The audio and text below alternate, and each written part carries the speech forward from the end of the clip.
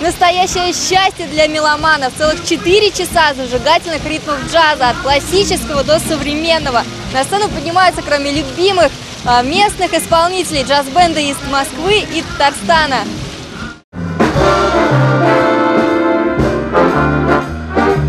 Настроение на одной из самых ярких концертных площадок города согревают. Самарцы собрались, чтобы насладиться живым звуком и танцами под зажигательные ритмы джаза. Девочка танцует, видите, не, не переставая под эту музыку. Мы не ожидали сами, что сюда попадем, а видите, получилось. Мы очень рады. Мы очень рады, что вот этот сам джаз сейчас послушаем. Все хорошо. Это А вам нравится джаз? Да, я, я вот специально рассчитывал, я увидел, когда объявление, сегодня прийти послушать. Фестиваль продолжает добрую традицию концертов под открытым небом, заложенную еще в 2013 году Дмитрием Азаровым. Мне очень радостно то, что сегодня у нас вот уже э, не первый раз проводится именно такой вот концерт летний. Здесь я об этом мечтал 45 лет, когда приехал сюда. Я говорил, что здесь Волга.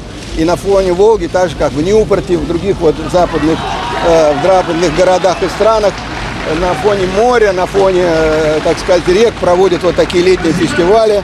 Среди музыкантов Мериам Мирабова, участница шоу «Голос» на Первом канале. В Самаре она впервые признается, такие виды старого города, Волги и церквушек не могут не вдохновлять на успешные выступления.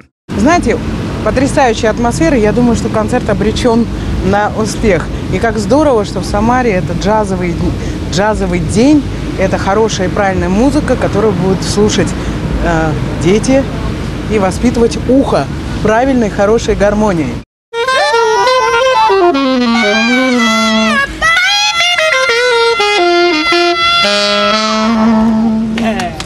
Мария Левина, Василий Колдашов. События.